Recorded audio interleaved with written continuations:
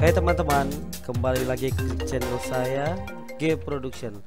Saat ini kita akan melihat Honda Versa dimodifikasi standar dengan half firing. Ini adalah proses pemasangan.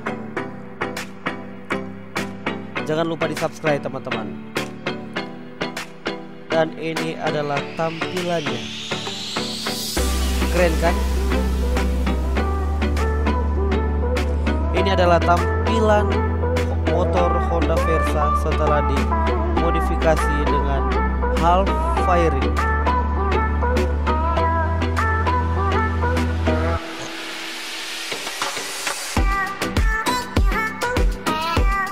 Tampilannya menjadi sedikit lebih keren, lebih kece hanya dengan memasang half firing di motor Honda Versa.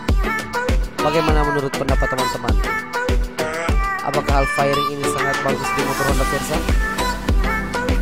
Jangan lupa di subscribe dan komen di kolom komentar.